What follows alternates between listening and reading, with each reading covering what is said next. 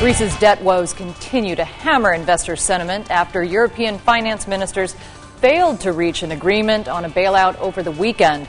That's causing some stomach churning about the possibility of a Greek default and what that could mean for other countries and stock markets. Eurozone finance ministers want Greece to take more action on its own. So far, reaction to the Greek government's attempts to slash spending and reduce wages has led to riots and a possible reshuffling of the government.